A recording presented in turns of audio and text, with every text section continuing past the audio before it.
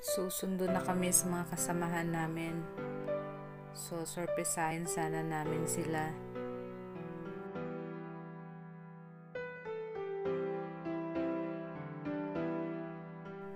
Pero nang nakita na namin silang paparating, halos maiyak kami.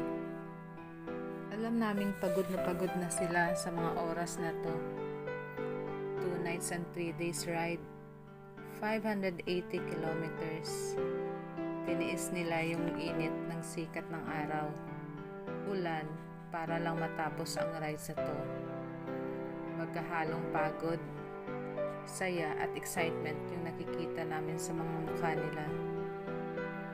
Pagod pero alam namin na masaya sila kasi natapos nila yung ride na kahit may mga aberya sa daan, safe pa rin silang nakauwi.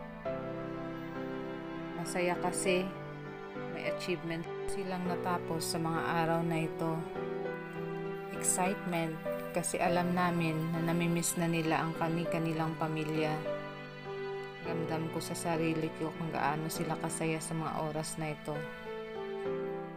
May konting inggit rin ako. Kasi pangarap ko rin sanang makapag-tour di Panay. Pero wala pa talaga sa timing. Alam ko may tamang timing rin para dito. In God's perfect time. Nagpapasalamat din kami sa Panginoon na safe silang lahat na nakauwi.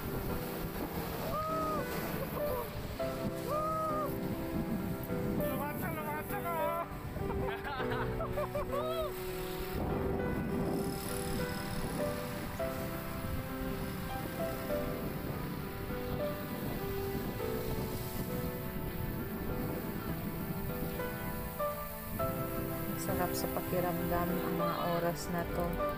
Parang ang saya lang. Masaya kami sa mga oras na to nang sumundo kami sa kanila. Excited rin ang iba naming mga kasamahan na naghihintay doon sa Capitol para sa pictorial pag dumating na sila.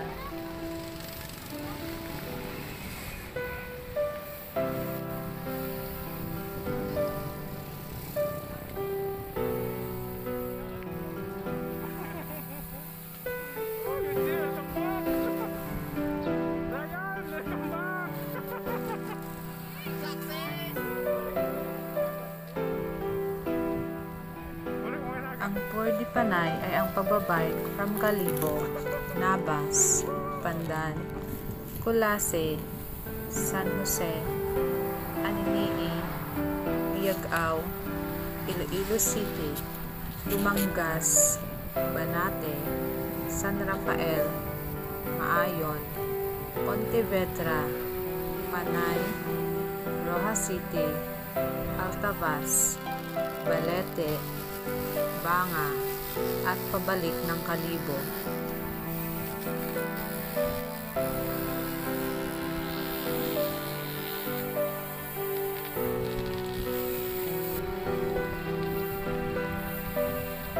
Kudos din kay Master Adam na nandyan para umalalay sa ibang kasamahan nila. Alam kong may mga times na napapagod na ang iba sa rides, pero nandyan siya para umalalay at magbibigay ng lakas ng loob para tapusin ang tour.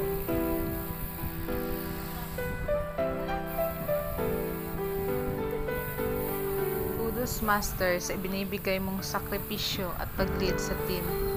Alam naming mahirap humawak ng team. Pero sabi mo nga, what problema ron?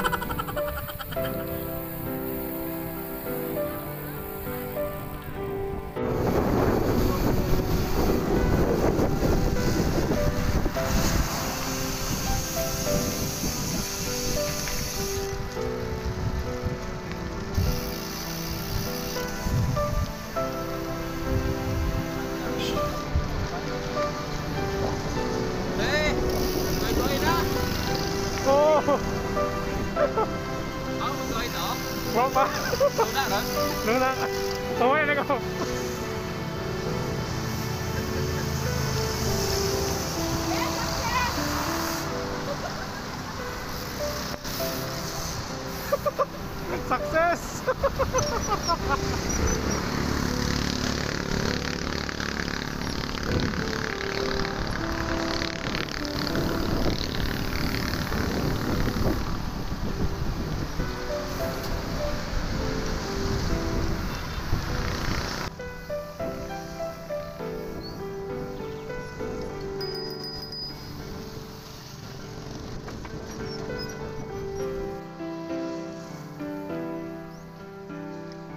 at all.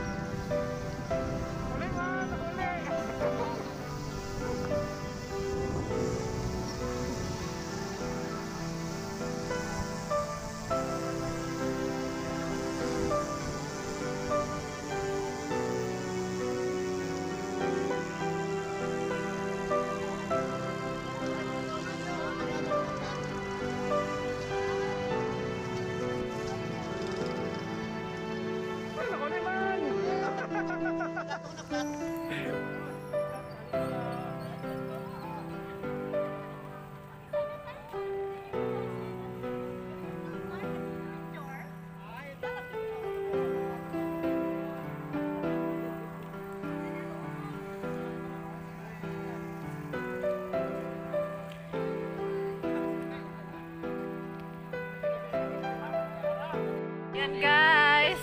Success yung Tour de Panay namin! Charot lang. Oh, ayan na sila yung dumating. Hindi, hindi kabilang yung naka-white na ano, na helmet. Oh. Pili lang. Yung mga maiitim, yan yung mga nag-tour de Panay. Yung maputi, wala yan. Ayan. Yung mga maiitim lang ah. Tignan nyo yung mga maiitim. Oo, oh,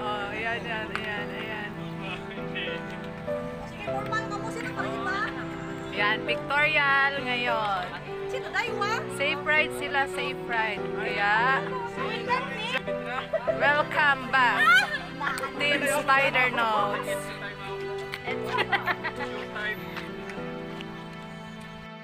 Ano?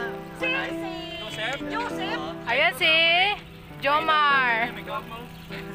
Pumuti si Jomar nung nag-tour di Panay.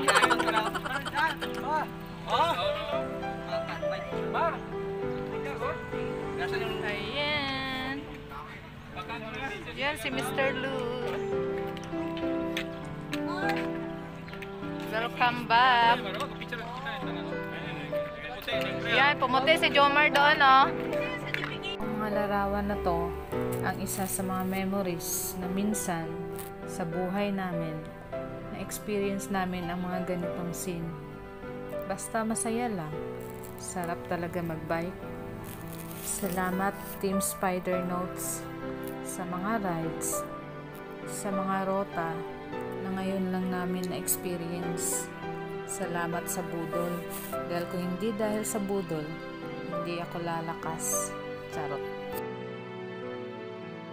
Salamat sa kasiyahan, sa tawanan, na pag nagsama-sama, sasakit ang tiyan mo sa kakatawa. Sa mga usapang puro masaya lang. Looking forward for more adventurous ride. Keep safe po sa lahat at parati po tayong magdasal bago mag-rides. God bless us all po.